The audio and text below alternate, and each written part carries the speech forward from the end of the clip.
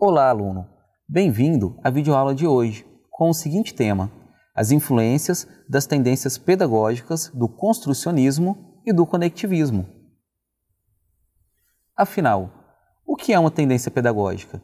As tendências pedagógicas foram muito influenciadas pelo momento cultural e político da sociedade, pois foram levadas à luz graças aos movimentos sociais e filosóficos.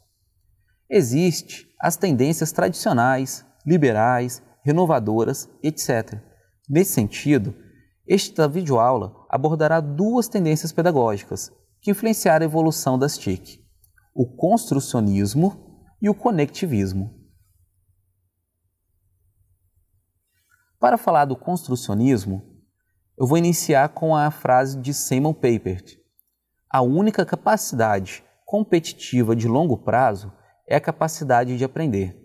Simon Papert trabalhou com Jean Piaget no início da sua carreira acadêmica e foi uma ótima influência. Eles trabalharam entre 1958 a 1963. A principal colaboração de Papert com a parceria de Piaget foi considerar o uso da matemática para entender como as crianças podem aprender a pensar.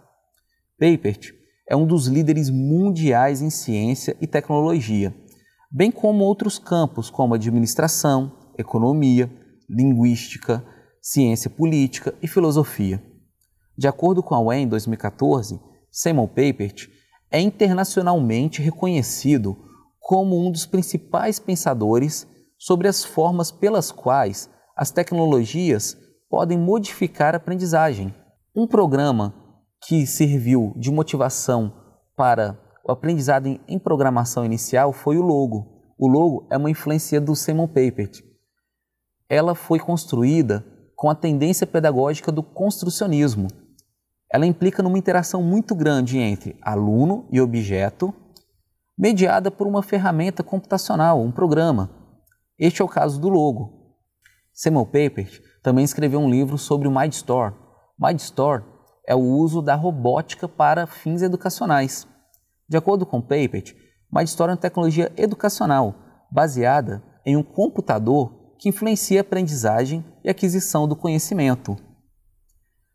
Papert foi tão inovador na área da tecnologia linkada ao ensino e aprendizagem do aluno que ele escreveu o livro MindStore sem antes colocar alunos para aprender com a robótica. Essa era uma ideia dele. E graças a Papert, essa ideia não se tornou uma utopia. A empresa Lego entrou em contato com o mesmo para entender melhor sobre a robótica educacional. E a empresa Lego lançou o MindStore, em homenagem ao livro de Simon Papert. O MindStore hoje está na versão 3. Como vocês podem perceber aqui no slide, há um robô no qual ele é montado por peças de Lego, normalmente vem com 500 peças, e há uma placa computacional no qual você insere o código, neste caso, a programação do robô, e esse robô começa a movimentar. Ele é muito lúdico para o aprendizado. A influência do Papert foi tão além do que nós, professores, podemos imaginar, porque os programas dele são utilizados no mundo todo. Um exemplo é o Scratch, foi lançado em 2009. O Scratch permite que crianças possam aprender a programar, coisa que antes era inimaginável, porque a programação normalmente é uma disciplina que existe muita evasão dentre seus alunos. O Scratch ele é utilizado para quem está aprendendo a programar, tendo como foco ensinar a lógica de programação. Seu público-alvo são crianças de 8 a 16 anos. Portanto, pode ser utilizado por pessoas de qualquer idade. O construcionismo de Simon Papert acredita que o computador é uma ferramenta extremamente poderosa para o processo de ensino e de aprendizagem do aluno. Por isso que o construcionismo foi tão importante para a evolução das TIC. Agora eu vou falar do, da tendência pedagógica do conectivismo. O conectivismo é uma tendência pedagógica emergente. Ela foi criada por George Siemens e Dorns. Vou começar com uma frase de George Siemens. Nossa capacidade de aprender o que precisamos para amanhã é mais importante do que aquilo que conhecemos hoje. Como havia falado, ela é uma teoria de aprendizagem emergente. Surgiu em 2006. O conectivismo é uma teoria de aprendizagem proposta na era digital, criada por Siemens e Dorns. O conectivismo se baseia na premissa de que o conhecimento existe no mundo, ao contrário das teorias de aprendizagem que afirma que o conhecimento simplesmente existe na cabeça do indivíduo. Tanto Siemens como Dorns se tornaram um dos pioneiros no mundo sobre o ensino à distância aberto. Eles apresentaram o conceito de conectivismo por meio de publicações de artigos e capítulos de livro. Segundo Siemens, a tecnologia reorganizou o modo como vivemos, comunicamos e como aprendemos.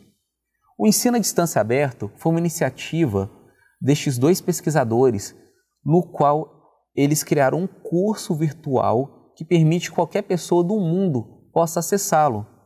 Ele não tem entrega de certificado, mas é uma ferramenta de apoio ao ensino que está ganhando muitas universidades. Vamos supor uma seguinte situação.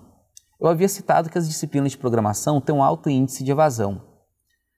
Não existe, a princípio, um projeto de ensino à distância aberto brasileiro para o apoio da aprendizagem de programação, no qual qualquer aluno possa entrar no site e aprender programação. Nesse sentido, existe um site chamado www.code.org, que é uma iniciativa da Microsoft, do Google e do Facebook no qual os alunos que queiram aprender a programar entram no site, se cadastram e eles começam a fazer exercícios sobre programação. Este é um exemplo de o ensino à distância aberto. E essa teoria, ela vem ganhando muitos adeptos e muitas pessoas estão disponibilizando cursos online gratuitos para que as pessoas possam aprender cada vez mais. A opinião de outros pesquisadores sobre essa teoria emergente do conectivismo. Segundo Vim Walking, o conectivismo é a primeira e ousada tentativa de uma nova teoria de aprendizagem, centrada no papel das tecnologias de informação e comunicação, ou seja, a TIC. Na opinião destes autores, o conectivismo é uma teoria de aprendizagem que surge por tentar incorporar as consequências do ritmo cada vez mais acelerado da aquisição da informação e do conhecimento. Resumindo, de acordo com o conectivismo, a rede é um agente cognitivo. Em 2008, Siemens e Dorns projetaram o curso aberto online como havia dito, e uma frase deles que marcou foi: é um marco pequeno, mas crescente do ensino aberto. Neste contexto, o curso se chamou Curso Online Aberto e Massivo de Conectividade. Para Siemens, a rede é um grande agente cognitivo que ultrapassa as limitações individuais. Se a gente refletir sobre o construcionismo de Simon Papert e o conectivismo de Siemens e Dons, podemos perceber que a ideia central do construcionismo é o computador como uma ferramenta de apoio à aprendizagem e ao ensino. No conectivismo, o computador já vai além, ele tem que estar conectado à internet. Então, o computador conectado numa rede de computadores é uma ferramenta essencial ao apoio do ensino e da aprendizagem. De acordo com Marcelo Violent, 2009, o conectivismo assume os princípios da aprendizagem por meio de conexões, diversidades de conceitos e ideias. Segundo Dorns, 2012, o conhecimento é encontrado nas conexões entre as pessoas, uns com os outros. A aprendizagem é o desenvolvimento entre essas conexões. Prezados alunos, chegamos ao final de mais uma videoaula com o tema As influências das tendências pedagógicas do construcionismo e do construtivismo.